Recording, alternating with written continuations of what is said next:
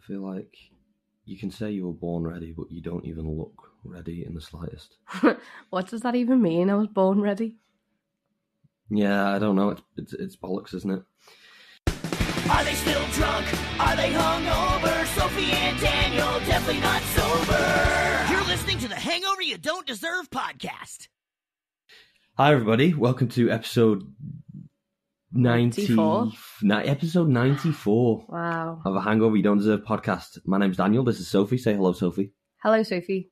And uh, this is once again another very special episode of Hangover You Don't Deserve. We're celebrating two years as a podcast, and we're doing so by watching and reviewing the Twilight movies.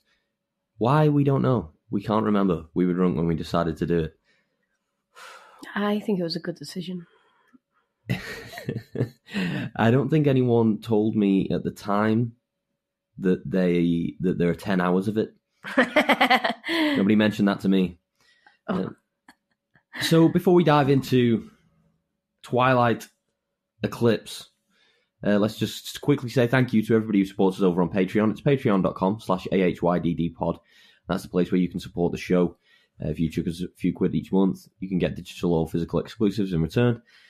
And as such, we want to say a very special thank you to Adria Bowman and Jared Spear for their long-term continued support since the beginning of the show. And now we can move on to uh, the good shit. Twilight Eclipse. Twilight Eclipse came out in 2010. Okay, another. So so we've had we've had a Twilight movie every year now. 2008, 2009, 2010. Oh, wow. Let me tell you how this one's different. They didn't even leave a year this time. This one came out six months after the last one. Six No way. months. Did they film them side by side? They must have done. They must Yeah. have done. But even if they did, who needs who needs the fix that quick? You you're overdosing people on Twilight. I don't think that's possible. Right, okay. Well there's an opinion. You're the one who just described it as what did you say? The good shit. The good shit. That was sarcasm. I see. So budget for this one, sixty eight million.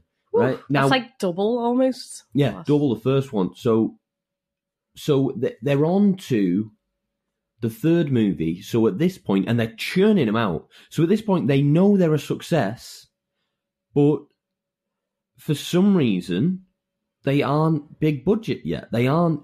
Yeah, that's They aren't true. spending a fortune on these things. And given how much of the movie seems to be shot in mountainous regions here, that you'd think that that would cost a lot of money, helicopter shots and things like that. Yeah, but then maybe it's cheaper than like building a set. Maybe. Now, what I would say is it did feel like they spent more on it. This one. Yeah. I think it felt more like a real movie. The first one felt like a, a media studies project. This one really felt like a movie. I think uh, the director's changed as well. Ah, It's no. probably to do that. that makes a lot of sense. It was like a grown up who did this one. this person is qualified already. yeah. So the f- the f- the first scene it it starts in some kind of rainy chase scene, right? hmm Some guy that we've never seen before. Yeah, just all strangers, and I hate. I hate that. Yeah. I'm like, I didn't come to see this. I came to see. Show me the bacon. So, yeah, this is the this is the thing. It starts. You're looking at characters you don't care about, you don't know about. So already, you just your attention drops. If you if you're anything like me, Yeah. you're just like, well, I don't care about this because I don't know who they are. Yeah. I, I know that later I will find out. There will be context later, but I'm sorry, you've you've already lost me because Yeah. this doesn't. This is this is not anything that makes sense to me right now. But also the the the mood for me, I thought immediately this one feels shitter than the others, but it did improve. But that opening scene, I was like, oh, this is garbage.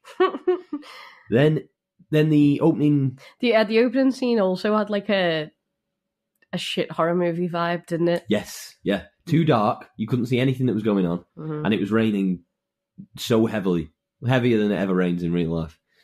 And then the opening credit thing comes on that says eclipse, and there's there's an uh, like an eclipse happening, and that's the first time that it's occurred to me that they're all named after like phases of the moon. Oh, did you not realize? No, no, and I knew all the names of them, but I, I that just hadn't dawned on me. Well, it's not really. Breaking dawned on me. Oh, nice.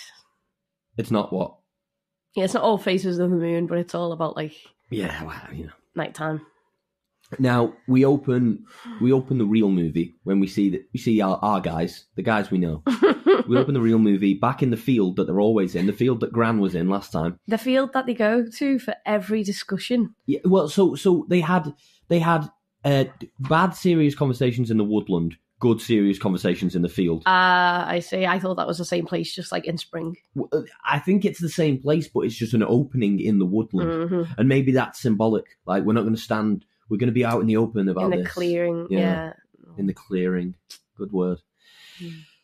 He's shimmering in the sun, as he does, and he just looks sweaty.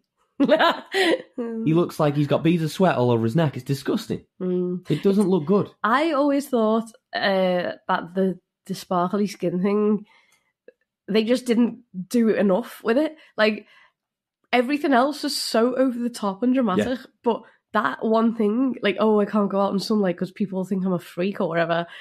You can barely notice it, honestly. And and I think it's because they didn't want to have to really write around it a lot because they don't utilize it at any point in the movie so far. You know, yeah, that's true. It's not really like a big deal, is it? No.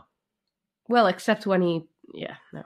So they're, they're they're talking about their marriage because if you've listened to the previous episode or if you've seen the previous Twilight movie, you will know that the the final scene is "Marry me, Bella," uh, and so you know what? There was a bit less of that in this one. I think yeah, Less she she got it together a bit.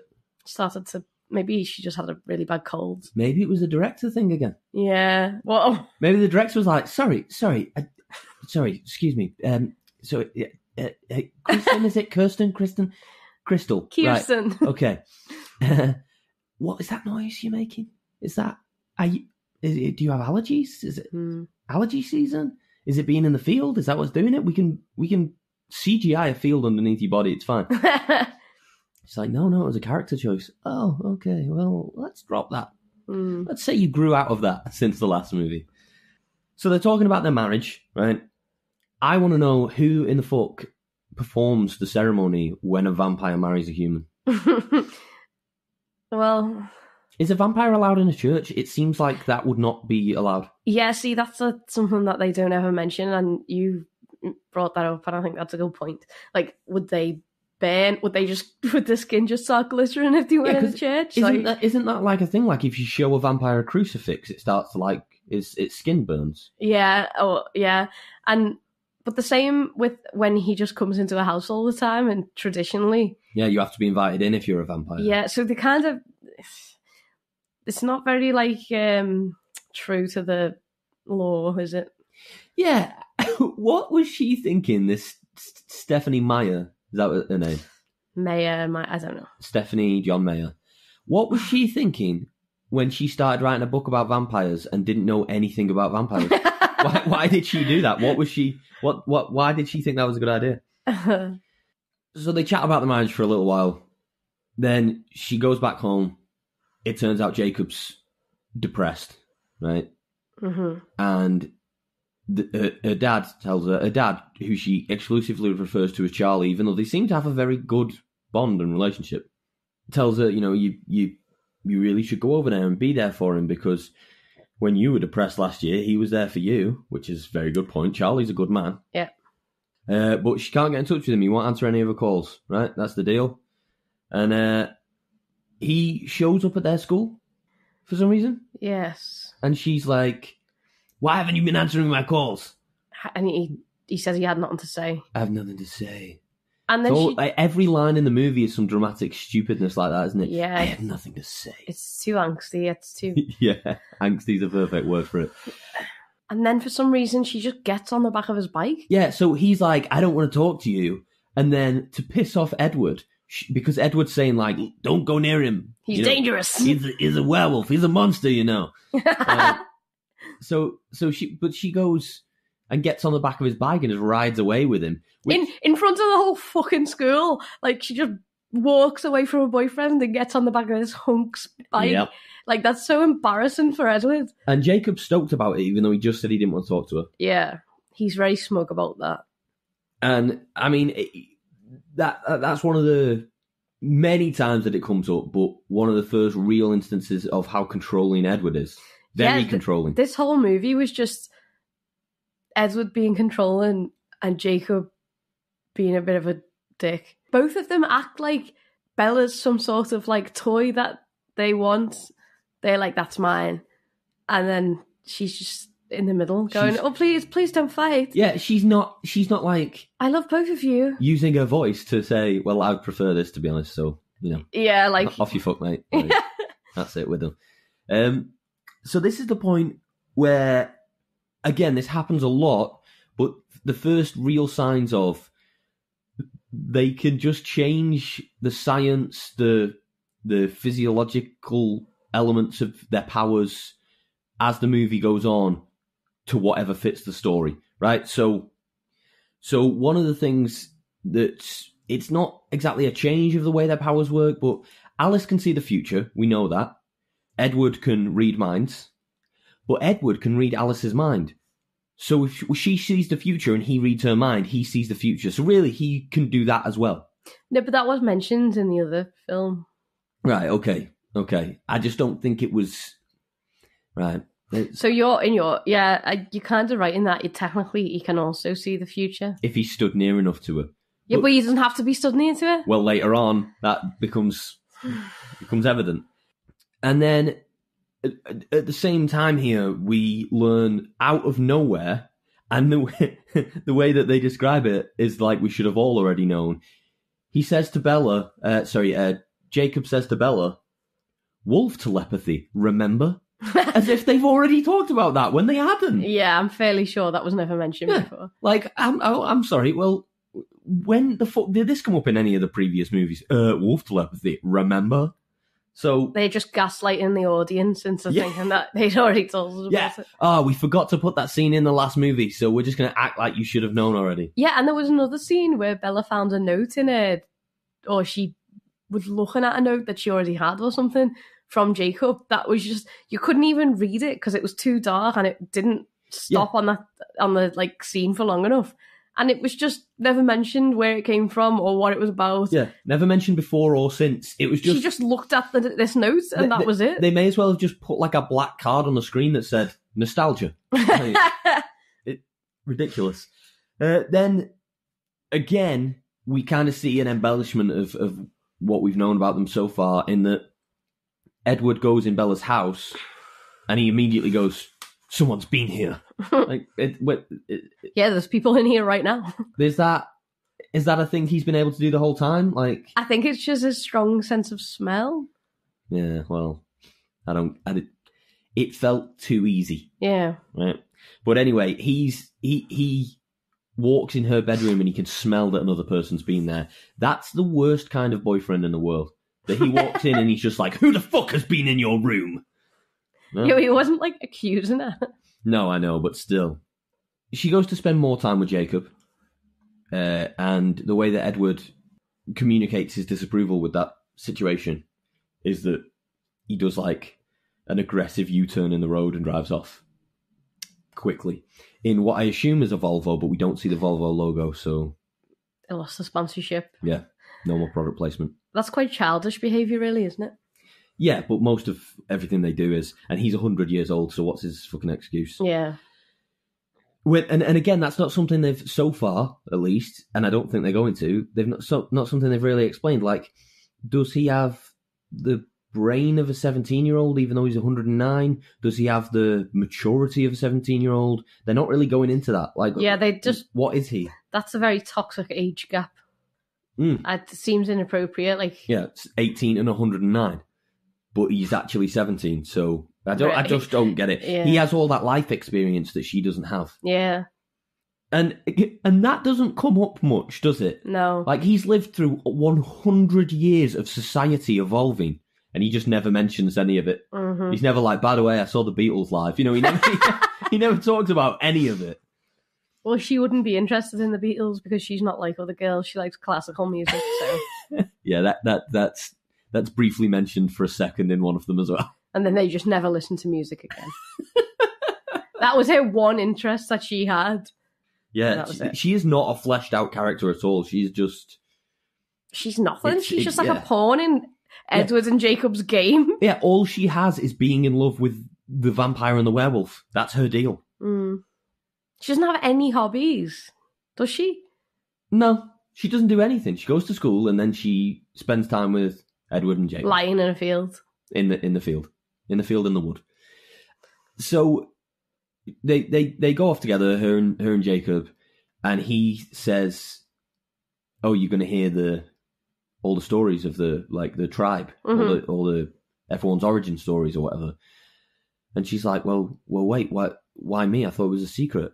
And like, You already fucking know. Yeah, uh, but then he, he his his his justification for that is even worse. He's just like, "We're all in this together. We all play a part." What? She isn't one of you. She isn't a wolf. Uh, and what are you talking about? But you know, that's by the by. That's how they led us to her learning about the tribes, which we needed to know as the audience. So that's that's how they wrote this in. But my takeaway was, why won't they put on shirts? Why do they just never wear shirts? See, I think this is addressed in the book, so maybe because I've read the books, uh, that's I just didn't question it because the way the vampires are really cold, the werewolves are apparently really hot. So I guess they just don't need to wear shirts, but they wear shorts for you know like public decency. Right, okay. I see. But then when they're wolves, they They take the they're naked anyway. yeah. Actually, see, it never, it never in the yeah in the film they just turn into a wolf and their clothes just disappear. yeah. Well, yeah. So so they learn about the the tribe's history and they the tribe the the, the wolves discovered vampires. hmm Well, they discovered one vampire. They didn't know what it was. They killed it. And then the vampire They'd never be. I don't think they'd been wolves before that. Or I, oh, I do. I don't know if that was I can't. I don't know. So It wasn't clear. Wasn't no. So the vampire's wife, who's also a vampire, comes after them. She's very upset that they killed her husband, so she attacks the whole Fair. tribe. And there's only one wolf left because it's this is the point where it's kind of documented that the wolves can marry the humans and it not ever be a problem because the like old tribe leader he goes he's the only wolf left he goes to attack the vampire and to save him his his wife who they refer to as his third wife and Inexplicably. yeah just, why? they why, ne- never explain that why is that relevant? no Is, is is she his third wife at once, or did his other wives die of something? Well, so then within seconds they are now referring to as the third wife. The third wife did this. Like, is is that representative of something? And again, maybe more's covered in the book, or maybe that's something that, like, like something If- that we're not. yeah, if you knew American history, you might know more about it. I don't, I don't know. But anyway, she distracts the vampire by making herself bleed, and the way she does that is stabs herself in the stomach, which seems completely unnecessary. She could have cut any part of her body to make herself bleed. That's overkill. Maybe she didn't like being his wife. and That's why she did that. It was just suicide, and they misinterpreted it as like an act of bravery. Yeah, and a, a martyrdom. yeah, yeah. That's that's the history of the tribes. Now, now we know why they hate the vampires. We know uh, we know how it works. But again, you can still wear shirts, and you, you did in all of the cutscenes. All the old people are all wearing shirts. It's just it's just the strapping young men that don't wear shirts. yeah. it's just all the lads who have a six pack. They're not going to wear shirts. Lads, lads, lads. we we see there's an ongoing vampire disruption in Seattle. That the only time this has been mentioned so far is Edward saying, "We're monitoring the situation in Seattle," as if he's like a member of the CIA. A team is monitoring the situation in Seattle, and then we see a clip from from Seattle on the news of a like a mass murder that's taken place, and we see we look at the the vampires committing the mass murder, and again with the changing physical elements of of all of this, we see for the first time that when the vampire hits someone in the head, their head shatters, just shatters like a, a glass bowl. the, the vampire's head. Well, it's at this point, it's not. it- Clear. it's not explained that they're vampires that are fighting. yeah, He that's- just hits someone and his head just shatters with no explanation whatsoever. It doesn't have any blood inside it. It's just like he was a vase that they broke. No explanation for that. They they then the Cullens gather. because it turns out that someone is creating an army of vampires, and they worked that out. They they used like deductive reasoning to figure that out. They didn't. Nobody told them that. They're just like, well, it's like a lot of a lot of attacks. It has to be more than one of them, but they must be newborns. So yeah, must be an army. And that's it. That's that's how they work that out. Um, they they they call this like gathering at the party that they're throwing, and so they're just kind of in in plain sight of the party having a very serious discussion about vampire armies, um, even though the whole high school is there. And then Bella, who throughout all of the movies has just acted like she's an expert on vampires, Bella was just like vampire army as if she knows anything. Like, why why are you acting like that's ridiculous? You don't know anything about vampires at all. You've been here a minute. You have no clue. Yeah, she acts really uh, patronising to most people throughout the whole thing. Yeah, every, she acts like she knows everything about werewolves. So then at this point, Jacob walks in or walks over to the group because they're just in the middle of a party and he's like, What's going on? you all look very serious. What's happening? So they, they loop him in and they basically agree we're going to form a pact with a truce with the wolves, which they already have, but this time they're going to fight together. hmm Right? Bella then tells Jacob, You don't know what you're getting yourself in for.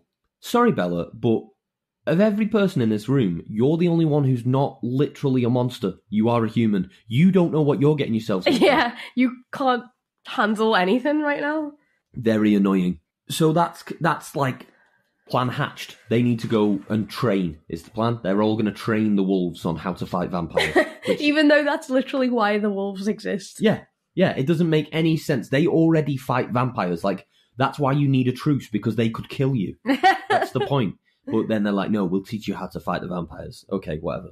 Then later that night, she's lying in bed with Edward. She's talking about how, like, how difficult it's going to be, what she's going to tell everyone when she turns to a vampire, because that's what she wants to happen. And uh, and he doesn't want her to do it, so he's just like, well, you know, in a few years, everyone you know will be dead. Problem solved. brutal, absolutely brutal. yeah, but he doesn't want us to do it, so he's trying to be brutal. Like, yeah. oh, like you're not thinking, which she's not. She's an idiot. She's like 18 and she's like, I know what I want for the rest of my life. Like, I'm sorry, but no, you don't. Yeah. You're Yeah. a child. you have one boyfriend. and you're going to die for him. yeah. literally die for him. So she spends a little bit more time with Jacob because she feels sorry for him or whatever it is. Like, Pity, pity hangs, right? And he, they they're walking they're walking along a lake, right? It's very cheery, colourful, green, romantic. Mhm. He's shirtless, of course, and then he kisses her, which she didn't ask for. Oh. So she punches him in the face. But he's a werewolf, so she breaks her hand. But that was a that was a pretty fucking outlandish punch in the face. I think. I know that she, I know that he shouldn't have kissed her, but she like full on fucking punched him square in the mouth. Yeah. I don't know. I'm not sure where I stand It's on not. It's not like. that. Was like, it okay, hugely okay. violent reaction? Let's consider the second scene of the first movie that a stranger on her first day of school just kisses her and runs away. She does nothing. this this Oh, guy yeah, that's true. this guy that she's been leading on for literally years misinterprets the situation and kisses her, and she fucking clocks him square in the jaw. See, she's a bitch. She is. It's it's it's terrible. But do you think this is my main question about the whole movie franchise now? Do you think she learned how to face punch like that while watching Face Punch? I hope so. Overall, here's my takeaway in general about about her situation, problem, whatever you want to call it, that she's in love with both of them and they both love her. Terrible. Uh, Why not fuck the werewolf all your life? And then when you're like, ah, I'll probably die within the next 10, 20, 30 years, then become a vampire then. Right? Get You to are- like retirement age, become a vampire, then you can be with Cullen for forever because he's eternal life. So so he's like 109. He won't be, be bothered that you're 60. That's true. That's that's my stance. But it does it It's- does it's- highlight another point and that's that you could never hate fuck Jacob because if he got angry while fucking you, Oh, he would turn into a werewolf. it would turn into bestiality really quick. Yeah, but I mean, you know, they're they're big wolves. Like Yeah. they'd probably just fucking tear in half, right? That's gross. That's so gross. But um, no, you're right. That's s- scientific fact. yeah, I'm sorry. Oh, sorry that science is gross. yeah, I'm being really. I guess you can take it up with God. Oh my god. Speaking of, we find out in this one Edward's like really religious, or he's like really like old fashioned. He's old school. Yeah. So he's like he thinks he's got no soul because he's a vampire and he he wants to like preserve Bella's soul. That's why he doesn't want her to change. And what was the other he want he's he's worried about he doesn't want to like have sex before marriage because um Something about her like virtue or something. Yeah, virtue. Like he's a Fuck off, mate. he's he's not grown at all in these hundred years, has he? Yeah, he, he's yeah. Well, you know, maybe he does just have the maturity of a seventeen-year-old. Yeah. He's like gatekeeping her virginity. Yeah. It's weird. It's weird. And he says something about asking Charlie for permission, which is just that's offensive. I think. Oh yeah, asking for permission to to marry her. marry her. Like that's not your decision. So we see at this point that the army of vampires is being watched by the Italians from the last movie. The, Yes, the vit- yes. Vitellry or. Vulture. Volturi. Yep. Well, that's not a word. I'm sure it probably is. And they're like overseeing it and deciding should they step in or whatever. Yeah. And there's a bit of dialogue in that that scene that really made me realize the, the problem with a lot of it is it's written like a Dickensian novel. The dialogue, it's like the dialogue is so poor, and it it's you can never really place what era the movie feels like it's from because the music feels very 80s. A lot of the like high school stuff seems very 80s, but then it feels really really old because they're old, and so they they they say things in an old fashioned way. And he says, Dakota Fanning is, is talking about how we can't let the boss decide because they're monitoring his decisions. Alice is monitoring his decisions. And then the brother says, Then decide, sister. It's time. What? Just you, no, you just say, Well, you'll have to do it then. That's how you would word that. Yeah. That's how a person would word that. also, like I hate that thing that they do in films, and I understand it, but where they'll say like, "Hello, sister." Who does that? Yes. like, Actually, I do know one guy who does that. by the way, we are brother and sister. Just to let everyone know. Just to let you know, sister, that I am your brother. so so they they kind of figure out right the the Italians are are coming with this. That's part of it. Yeah. They're on the way. They're pissed off. Right. They get together. They hatch this plan. Vampires, wolves, going to fight together. Bella shows up for the first time that that Edward and Jacob have got to work together. She shows up wearing an engagement gift bracelet that Jacob made her Graduation. gra- sorry, yeah, graduation gift bracelet that Jacob made her that has a wolf on it. She's wearing it. She's wearing a wolf bracelet, and he is a wolf. She may as well be wearing a bracelet with with Taylor Lautner's face on it. It's ridiculous, and and Edward's like pissed off about it, which is probably one of the only times where I think is him being annoyed is reasonable Yeah. right? And that just it feels like she's antagonizing him, and that feels like the, the thing through the whole movie is like Yeah, she she- really plays them off each other, She's just like like ping ponging between the both of them. ping ponging. I can't think of words. And uh, yes, it's like she can't decide, and she's like, "Oh well, it's just so hard because I love them both." Like, okay, but you're putting them both through like misery. Yeah, yeah, yeah. They go into training, right, preparing to fight the soldiers, the the army of vampires, and Jasper suddenly, suddenly has a terrible Texan accent, and then says, "Oh, I was a, I was a Confederate soldier or something. Yeah, it was a soldier in Texas during the Civil War. Like, it, at, no point has this Texan accent been clear through any of the rest of the movie. But now that he needs to say he was from Texas, now they need to give him a backstory. He's just talking in this terrible, like, southern accent. Uh, yeah, it's, It's quite just- bad. It, every every bit of the movie feels like they just wrote it on the spot to just further the plot at that point. But that's funny because It's based I- on a book. yeah. yeah, yeah. It's it's like they read the book on set while filming. like right. Oh shit! It says it says here that you were born in Texas. Just start doing the accent from now. Nobody will notice.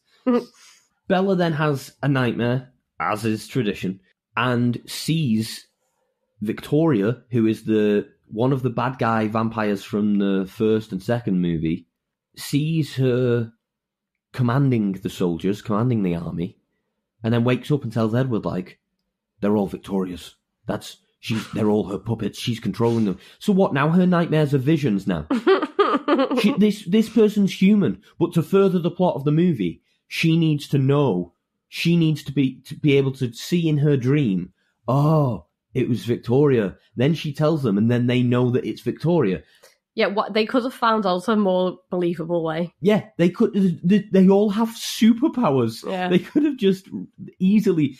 Oh, I just checked, and uh, Victoria's decision making because I can I can monitor decision making. So yeah, I just checked. Yeah, it's it's so stupid. Oh. then there's out of nowhere and for no for no real reason because it doesn't benefit the movie in any way. She has a talk about sex with her dad. Oh, oh no, it's so awkward. The worst scene. yeah, And they're awkward about it, and she's like, "Don't try and have the talk with me, dad." It's it's awful, and it doesn't. There's no reason for it to be there. It doesn't advance the movie in any way other than she tells her dad, "I'm a virgin, dad." Okay, like storms off, like goddamn virgin, dad." Jeez. like she could have worded that way less awkwardly. Yeah. I think because they obviously hated the conversation. It wasn't like an open conversation, like where they're really close and they can talk about things like that. It was, it was like she could have just said like, "Oh, you know, nothing's happened," Yeah. or some something that's not. I'm a virgin. Yeah, that's just horrible. yeah. It's yeah. That's that's when you said it was clear that this was written by a Mormon. Yeah, yeah. It's it's or, because because Don't- between between some Mormons have numerous wives? Maybe that's why the third wife thing was written. yeah, I don't know a lot about that, but Me neither. but it's clear that it was written by a religious person anyway. Is the point because Yeah. because both Edward and Charlie are really hammering home the like you got to be careful and you got to do this and that and all that stuff. The, so the big plan, their big plan for when the army arrive, is she's going to spend the night at Edward's house while the rest of the family go hunting to practice. And Bella is staying at Edward's, and Alice actually says to her, like, you'll have the place to yourselves tonight. You're welcome. Which is weird. That's weird. But then Bella wants to fuck. Edward doesn't because of all the virtue stuff, right? But he buys her a bed because he doesn't sleep, so he doesn't have a bed. He buys her a bed, and it's this insane like four poster thing, right? And she she her response is an air mattress would have sufficed. Fuck off, they're rich. Yeah. Why would you? Why would she be like? Why would she? If if he'd bought an air mattress, would she not have thought you fucking cheap cunt? Yeah, tight bastard. Like you are, you you live in this. You have no reason to have earthly possessions, but you live in this insane house. You have all of this stuff, but you've gone the Argos and got an air mattress for me to stay over, just because you don't sleep. yeah, I was being so pissed off if that's happened. And that made me think, with the fact that the fact that they don't sleep, how bored must vampires be? Yeah. He's been alive for 109 years, and Day and night. he doesn't even need to sleep. Does he ever just like lie down and stop thinking? Yeah, well, yeah. And if he doesn't need to sleep, does that mean his body doesn't get tired in any way? Does he ever have to sit down, or could he? Maybe if he hasn't drank blood for a while, he'll get tired. Right, maybe. But again, we, we we're having to fill in the blanks here because the movie doesn't explain anything. hmm And you can't you can't just go off g- general vampire law because they haven't followed any of it. So no way, no way. hmm Uh, what next? What next? Oh, that was when he gave her the ring as well, because he, he he kind of already mentioned marriage, obviously, and asked her, but he was like, "Oh, I He, he he- starts out with this whole spiel about like if I'd met you back Yes. then, like when he was when he was seventeen, like if I'd met you back then. we would have courted." So which and that was in like what 1918 or something. Yeah. And um he's like, Yeah, we would have had like chaperone dates and walks in the park and Drank, shit. drank iced tea on the promenade. no, it was iced tea on the porch or something. Right. Like they can't do that now. Yeah. No, they don't make oh, iced Because he doesn't he's, drink. he's like, they don't make it like they used to. and then he's like, Oh, I would have done this, I would have got down on my knee and presented you with a ring. And then he got this ring out and it's so ugly. It's it's disgusting. It's it's not an engagement ring. It's, like costume jewelry. yeah, it's huge. It's it's huge. and not not It- in like an engagement ring. no, huge it's not like it's not like wow, look at the size of that rock. It's like it looks like it's like a disc. a turtle shell. It's it's just a big black oval, and right as she was probably about to go, "Are you are you making a joke?" He was like, "This was my mother's." so she has to be like, "Oh, it's wear it." lovely." we were laughing when when that happened. Aisha said, "If you gave me a ring like that, I'd eat it, so I'd never have to see it again." I don't I don't know why you wouldn't just throw it away. it seems over the top, I guess she's greedy. rude. Um, Well, no, because she says if you put it in like a cake or something, she'd just pretend like I- he hadn't seen she hadn't seen it. if I was if I was trying to propose um, by by sneaking it in a cake, I've never understood why people do stuff like that. Like, why why have you put it in the bottom of the champagne? Now I don't want to drink the champagne. And what if I didn't see it and choked and died? Yeah, has that ever happened? People choke on the engagement ring. It must have done. Yeah, surely. Must have done. Plus, I think some people don't look at the food as they're eating it either. No, I I absolutely don't. This is a this is a thing like that I say to Aisha all the time because we we order food a lot, and Aisha is like Aisha's really grossed out by hair, and is frequently finding hair in food that we order. Like it's it's a common problem, and I never ever do. And I think I'm just eating that hair because Yeah, I'm you- not looking, I'm not paying attention, so I'm just scoffing down that hair. You definitely, that's what it is. the first suggestion. That's in your history. Oh. Sophie's already looked this up before. Sophie's already Googled, has anyone ever choked on an engagement ring? A woman was choked to death in Minneapolis after eating the cake in which she'd hidden a costly a costly ring. Why do they have to add that part? That seems like insensitive. Because it makes the guy seem even stupider. Because he wrapped a fucking expensive engagement ring in chocolate cake. It was chocolate cake, and it was worth sixty five thousand dollars. Fuck off. He paid sixty five thousand dollars to kill his wife. well, it's, Do you think he could get a refund? Cut, cut it out of her and... Uh, surely they would take it out of her. and do you think he just rinsed it off and took it back to the store? I've changed my mind. seven, May- seven day return policy. Maybe he um he took it out and put it on a finger. What, and buried her with it? Yeah. Expensive funeral. Although that would be rude because she didn't technically accept the proposal. she didn't even know it was happening. Maybe she said yes with her dying breath. So is this the only case ever? I mean, this was the first one that came up. Oh shit. Involuntary manslaughter? He what? He, was sentenced for it. Oh no, it's saying he was arrested and accused of it, but it doesn't say whether he For fuck's sake.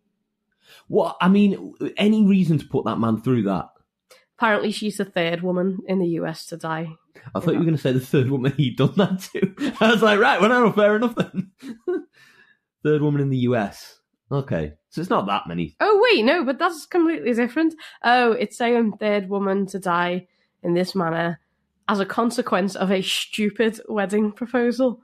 So apparently, the another one was a woman died fallen from a twenty-three story building seconds after being proposed to, and they concluded that that was suicide. But that's I don't know. That seems sketchy. No one kills themselves to get out of an awkward situation. Yeah. There's no way anyone has ever done that. A woman dies of a heart attack after he decided to compliment his proposal with surprise fireworks. Oof. Grim. I would never, ever, ever live that down. Never forgive myself for that. No, I'd, you'd probably kill yourself, wouldn't you? Yeah. Oh my god, that's that's traumatic. So, to, to get back to to get back to Twilight, we're missing the point here. their big plan, their big fight plan, after after Bella and Edward have, have spent the night, the next day they are all going to gather in the field, and Edward and Bella are going to go and stay on a campsite in the rural mountainous area that's just next to the field for some reason, and they're going to cover the trail because the the vampires will be able to track her scent. They're going to cover the trail by Jacob carrying her there because the vampires can't smell her scent over the stink of a werewolf, right? hmm But to carry her, he uses his arms, he uses his big, strong, shirtless arms, and runs. But he can only run the speed of a human when he's a human. And he's carrying someone else, and he's running up a mountain. Yeah. So that would have been really slow and tiring. He could have turned into a wolf and let her ride him up the mountain. I'm sure he would have loved that. I think, yeah, that would have been more fun, but maybe they just didn't want to bother with the CGI of that scene. They could have inferred it. Yeah. They could have just said, right, here's what we're going to do. Okay, there we go. That's what we're going to do. And then you just assume it happens. But anyway, he takes her up there. Edward hikes up there on his own so that the scent is, is covered and all of that. And they're in a tent in the mountains. It's freezing cold. And here is a major plot point. If they were covering the scent so that they couldn't track Bella, why didn't he just take her to a hotel? He could have taken her anywhere. He didn't have to be right next to where the battle was happening. He could have been further away than that. yeah, I don't know. Why don't we try? Why don't we uh, make sure the scent is lost all the way to this luxury B and B? just go to the Cullens house? Yeah, they could. Yeah, they could have just stayed there. The whole thing is is full of plot holes. So they're in the tent and it's freezing cold, and Edward's like, "Is there anything I can do?" Because obviously he's ice cold, so he can't like help her warm up in any way, Yeah. right? And then Jacob, who it was not made clear is camping on the mountain with them. That was not mentioned at all. No, they did mention that, but I can't remember why. Well, there was no other tent, so it's. I guess he wouldn't have needed. a think it was like a little house. right. Okay. Okay. So he just pops in the tent and says, "I can't sleep with all the teeth chattering." Which I mean, bullshit, right? You've clearly heard what's going on, and you're like, "Well, guess who's got a hot bod? I'm going to take my hot bod in there." so he he goes in and he's like, "Let me warm you up." Edward doesn't want hot boy touching her, so he's like, "Get your hands off her." Well, but the, but, the, but the way the actual scene plays out is he grabs hold of Jacob. Jacob says, Get your hands off me. And he says, Get your hands off her. It's like a Chuckle Brothers episode. it's ridiculous. Um, And he basically talks him into it. He's like, Listen, she's gonna get sick, Yeah, you and it'll be your fault. your girl's, your girl's going to get hypothermia, right? Just because you're being pathetic, toxic man about it. yeah. right? Now, I, I totally agree. Until he crawls into the sleeping bag with her and then suggests that she takes off her clothes because she'll warm up faster. Although he's right, that is a survival thing because Okay. it's the body heat. You Well- need to be like in contact. I think he I think he's taking it too far, right? Because he is he's burning hot at all times. I don't think I think she'll be all right once he's in the sleeping bag with her. Yeah, that's true. He's he's definitely taking it too far. Like he can sense that Edward is the type of guy who would be pissed off if like his wife saw a male doctor. You know? yeah, And he's like, you well, shouldn't. You shouldn't be in the presence. She shouldn't be in the presence of other men. Probably that's probably is his ideas because of how old fashioned he is. That's true. That's true. It, but but he, he It, it's funny when Jacob says that though. but he, yeah, it is. it I would. I would say that. But he- he, he Edward signs off on it, right? And then Bella falls asleep, and they just bicker over the top of it. They're in a, they're in a tent. It's a small compartment, right? And they just bicker over the top of her head while she supposedly sleeps through the whole thing, right? And then it looks like maybe she grins and she was awake the whole time, but then they didn't really make that for certain, did they? No, I no. don't know if she was meant to be awake listening or not. No, and they just had this like really weird kind of heart to heart about. Yeah, they basically they they it was it was like they were becoming friends but at arm's length because they they they can't really because they hate each other but they're like you know they both kind of saying oh well you know if it wasn't for her then Yeah, maybe we could be friends. but they literally have had to sign a truce to not kill each other for Yeah, they're last however many decades. They're like natural enemies. yeah, yeah. It's it's the lion falling in love with the lamb. Ugh. So the wolf has also fell in love with the lamb, and yeah, the lion and the wolf are now just like- pals. some weird triangle Hmm. interspecies inappropriate. So next morning, next morning is when the battle happens. So they didn't need to sleep overnight in the tent. yeah, why did that Nothing happens till the next day. happen? Like they, I was like, oh, so they just when when it when I saw it was morning, I was like, wait, so they, we're not going to see the fight? Like they just ah, we weathered the storm, it's all fine now. but then they're like, they're coming. Like, what, so why did we just spend all night freezing on a mountain? We didn't need to do that. I could have been at your, in your bed that you just bought. But, okay, right. And she goes over to Edward and she's like, I'm sorry about last night. And I'm sorry about nearly dying because you made me sit out in the cold. yeah, it's, yeah, why are you apologizing? But she knows it was difficult for him to sit and allow that to happen. He says, yeah, well, it, it won't go down in, in the my list of top 10 evenings, which is um, hand up dialogue is terrible. And she goes, You have a list? And he says, Yeah, I spent all 10 of them with you. So he actually has a list of his top 10 evenings. Who does that? Who keeps that? He's been alive for he's been alive for 109 years and he has a list of his top 10 evenings and they were all within the last 2 years. What the fuck has he been doing for 107 years? Yeah, that's really sad. Very. Then he he he briefly mentions something about, well, you know, I can't wait for you to be my wife, Mrs. Cullen, and she's like, uh, it's it's the modern day. I I'm gonna at least what did she say? We're gonna go double barreled, or she says I'm gonna keep my own surname, or whatever she says. And then Jacob overhears it, and they were trying to keep it from him that they're getting married. Well, Bella was because she didn't want to hurt his feelings, or in her in her in her words, she wanted him to have a clear head for battle, right? So they so they they've they've kind of they've outed themselves now. He knows they're getting married, and he's like, "You're marrying him," and then he just starts running away because he just runs everywhere he goes. That's one of the things. That's one of his character traits is he runs everywhere. Not as a wolf, as a human, he just runs everywhere. Yeah, like he leaves her house and just runs down the street home. Yeah, he's like, "Okay, bye," down the street. So he starts running away, and Bella's like, "You knew he was listening," and then she starts chasing after him, and then this is inexplicable. I don't understand what happened here at all. Definitely the most inexplicable part of the movie. The most insane thing that she does, and She's every- just like, kiss me. I'm asking you to kiss me. So then Jacob starts kissing her, right? they they have like a very romantic kiss on the mountaintops. They kiss on the mountaintops. He leaves. He says, "Oh, that should have been our first kiss." he says, that should have been our first kiss. So the first thing he does when they have this romantic kiss is bring up that time that he kissed her without her consent and she punched him in the face. He's like, I remember that though.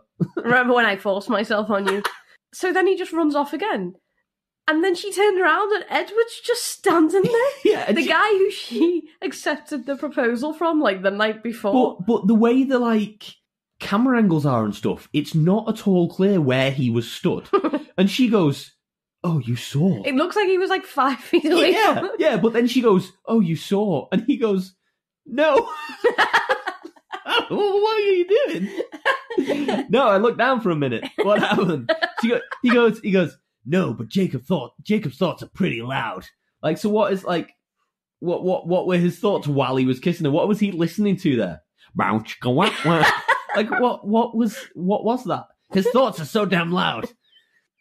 so I, ju- I just I, I don't get any of it, right? No, and, the- the- and then she's like, she's like apologizing to Edward, saying like, you know, he's like, I know you love Jacob, and she's she, like, she said she says, I don't I don't know what happened. yes, you do. You asked him Yeah, to do it. you repeatedly said kiss me, then he did. Really, you're the only person who's accountable here.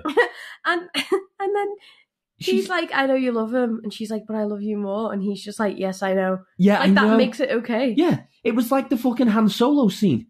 I love you more. I know. He's just like, I know, that's fine. Like he's okay with it. It's like, I know that you love him, but as long as you love me more, then you can make out with that guy. what? He's the most jealous man in the world, and suddenly he's like, it's fine that you just kissed that guy. and it's not like he's getting any more than that. They haven't even slept together. No, no. So it's, it's like they're just sharing her at this Yeah. point. yeah, they, yeah, they're they're on equal measure. But he's like, well, I'm going to marry you, so that's like I I'm going to win eventually. Right. Very weird, very weird situation. General take from all of those scenes is stop yelling in the mountains. You've literally gone there to hide. Yeah. That would echo yes. really far. It would echo so much. That's the deal with yodeling, right? That's the whole point. So then the, the the war starts, right? The the army arrives, the war starts. Now the big the big deal about it is they weren't expecting the wolves. So they arrive like, we're gonna kick your head in. And then the wolves eat them all. And it's just dead easy, just like it's just written off like that. It's just like 90 seconds of the movie is, oh my god, there's a big battle. Oh no, it's fine because the wolves ate them all. So there we yeah, go. they Sorted. just smashed them like vases. yeah, just yeah, just all all shattered glass vampires. Yeah. But then Victoria, which was the main villain behind it all, Yes, the redhead. yeah, she sneaks off and realizes that Edward's not there. She can follow his scent, and that's where Bella will be. Which I don't know why She's- they didn't. she says in a, in a like sultry vampire voice, she's like, "Take me to the big yin." I don't know why they didn't think of that because it's so obvious. You even said, "Well, what wouldn't they just follow his scent?" There? Yeah, wouldn't they just go? Well, Edward's not here, and it's his girlfriend we're looking for, so we'll just find him. Yeah. Yeah. Um. So yeah, all the other vampires are like slaughtered by this point, and it's just Victoria and her new boyfriend. Yeah, she, she's they've they've kind of crowbarred this love interest of hers into it just for this scene, I guess. Yeah, she's like controlling this guy, trying to manipulate him into killing them for her because she wants revenge. She's pretending that she's in love with him, but she's not really. Yeah, and basically they they they find them on the mountain, and the way that they get away with it is Edward's just like, she doesn't love you. She doesn't love you. Think about it. She only picked you because you know the area well. Like, I'm sorry, but having a good sense of direction in this rural town would not make a difference. These are vampires that track with their nose. Yeah, that's true. Like they needed him to go, no, we've taken a wrong turn. We should have gone left on Elm. Like, it doesn't make any fucking sense. no. But but he's like, no, you're lying. You're lying. Ah, I'm going to kill you now. What does he say? He, he goes, You're dead. you're dead.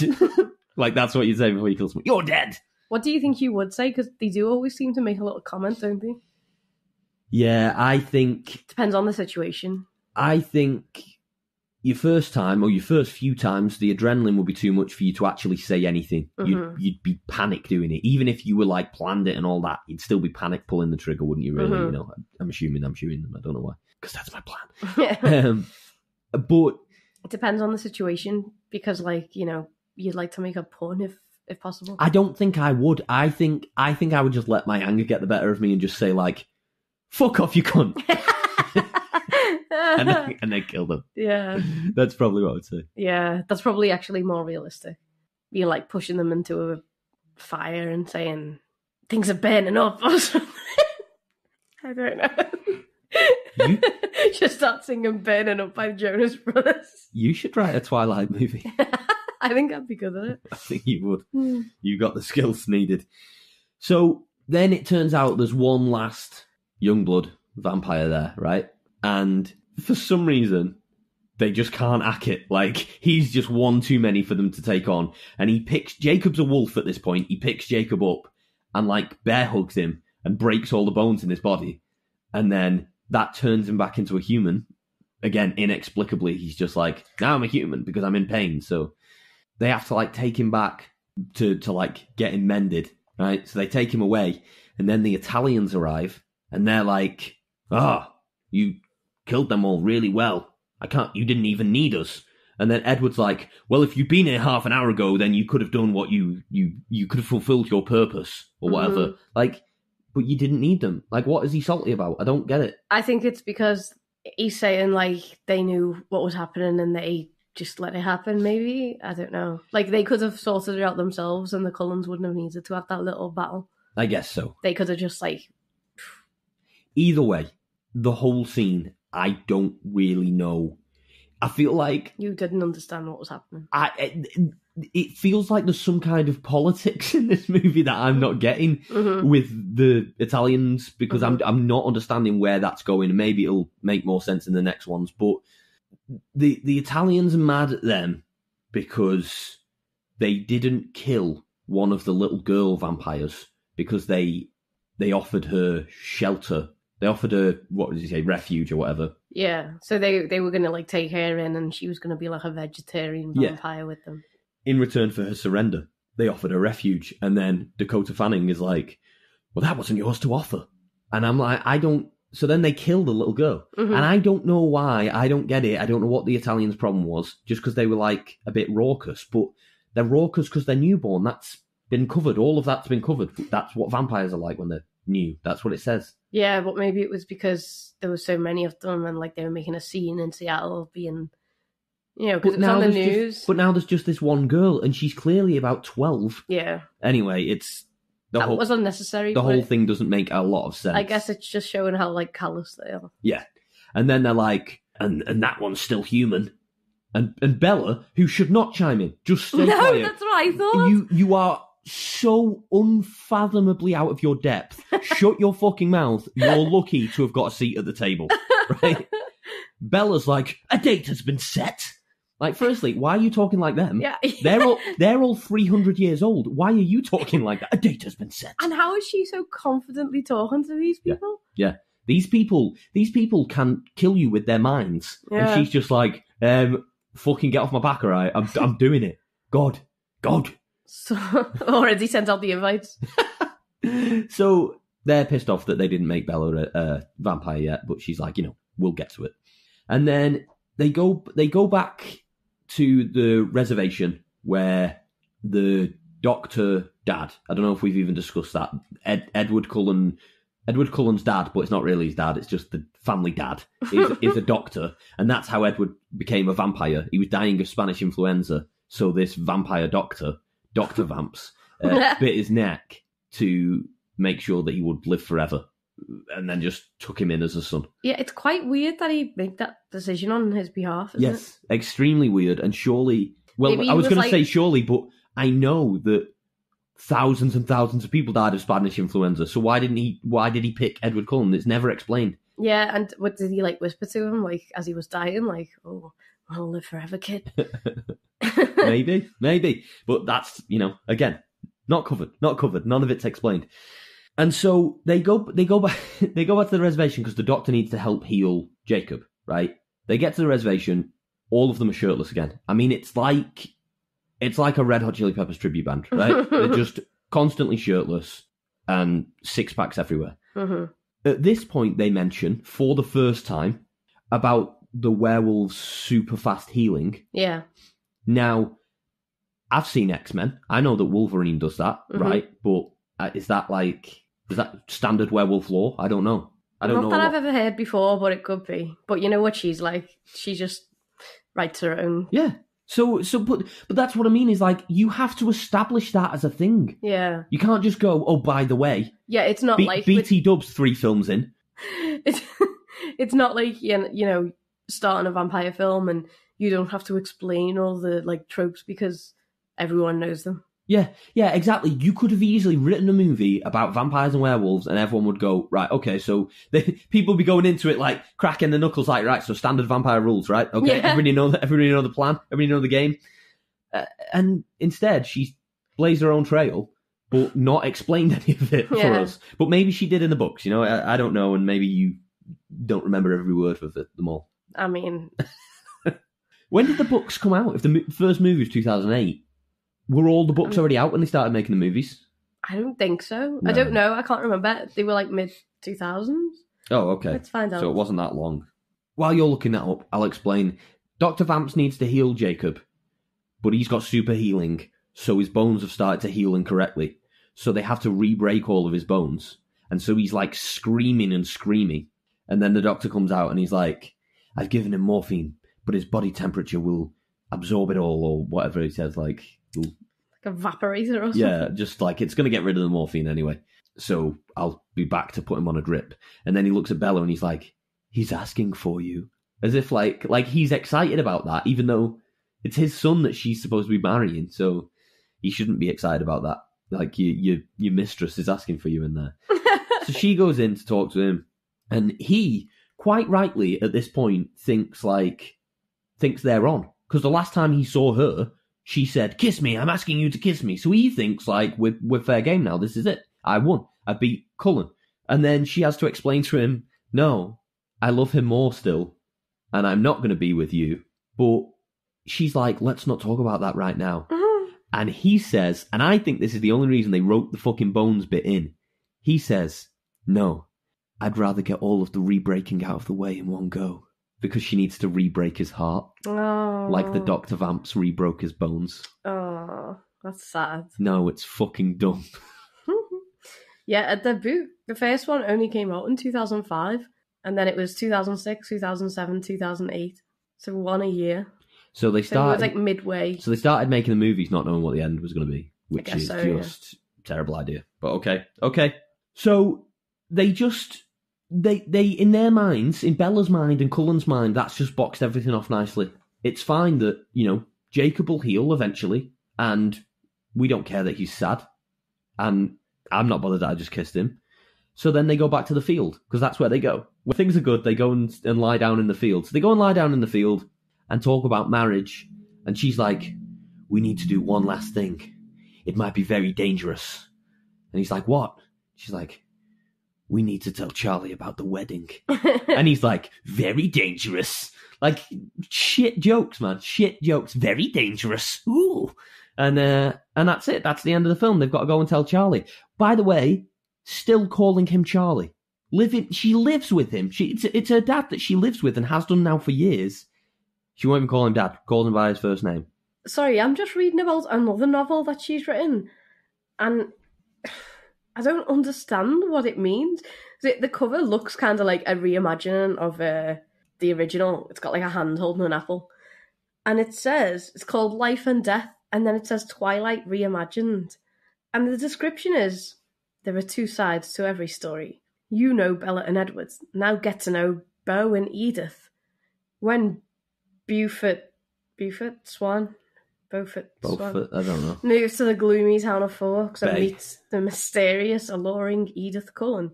His life takes a, ter- a thrilling and terrifying turn. Porcelain skin, golden eyes, blah blah blah. What he doesn't realise is the closer Isn't he that, gets. isn't that the A Team by Ed Sheeran? I- Porcelain skin. it's a reimagining. So it's like what she's just written the same story but slightly changed the characters and maybe set it in the olden days. So it's she's like switched it around. So, oh, a guy in the olden days moves to Forks, and there's a lazy vampire there, and they fall in love, but he doesn't realize. And then, yeah, so it's the exact same story. basically, Fucking hell, money making scheme. pointless. The reviews. That's what the review says. Pointless. I'm not sure why this novel exists other than to make money. Maybe they'll make a movie out of that one. Then we can do this again on our third anniversary. Great. My stance on the Twilight saga so far. We're three movies in. There's two movies left. It's it's not good. The third one was better because it at least had some kind of dilemma for them to address. It had some kind of story, some plot. The first two didn't really. hmm A lot of character development in the first two movies. So I'm hoping for the best out of the last the last two. That's what I'm hoping for is that, that they will be the best ones. Kind of the same as the Harry Potter franchise. Like I said, it's it's it's the later ones were were better movies, right? That's what I'm hoping for. So thank you to everybody who's listened. This has been episode 94 of a Hangover You Don't Deserve podcast. It's been part of our two year anniversary celebration where we are watching and reviewing the movie Twilight for reasons we don't fully understand. And we'll be back to regularly scheduled programming after we've seen all the Twilight movies. So thank you very much for listening. Please remember to follow us on all social media. It's AHYDDPod everywhere, and you can send us an email, ahyddpod at gmail.com. Let us know what you think of the Twilight movies. Let us know what you think of our podcast. Let us know what you think about hangovers. And find us on Patreon if you want to support the show, patreon.com slash ahyddpod. You can chuck us a little, bu- little bit of money each month and get digital and physical exclusives in return. And fuck you, Jared Spear. Fuck you. Thanks very much. Goodbye. Bye bye. Are they still drunk? Are they hungover? Sophie and Daniel definitely not sober. Thank you for listening to the Hangover You Don't Deserve podcast.